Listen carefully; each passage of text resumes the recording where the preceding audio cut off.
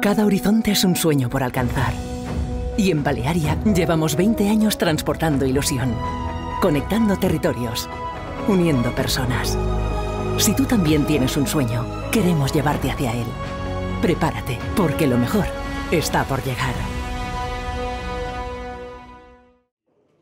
Las especies invasoras serán en gran parte protagonistas de varias de las ponencias que conforman las decimocuartas jornadas sobre el medio natural de Ceuta y su entorno.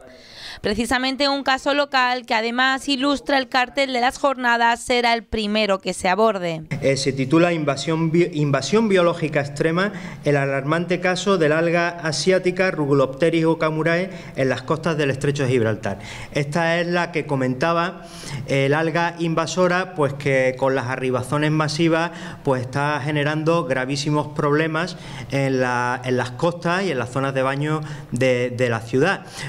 Eso, desde luego, es la punta del, iceberg, ¿no? Eh, el problema ecológico realmente está en los fondos, ¿no? Será la primera, pero no la única que hable sobre esta gran problemática biológica. Sin embargo, si algo caracteriza a estas jornadas es la variedad, una de las tres premisas sobre las que se articulan. Por un lado, la variedad, por otro lado, la oportunidad y relacionada con esta, la actualidad. Las jornadas se celebrarán del 28 al 30 de mayo en la Biblioteca Pública y las inscripciones ya se encuentran disponibles en la web del Instituto de Estudios Ceutíes.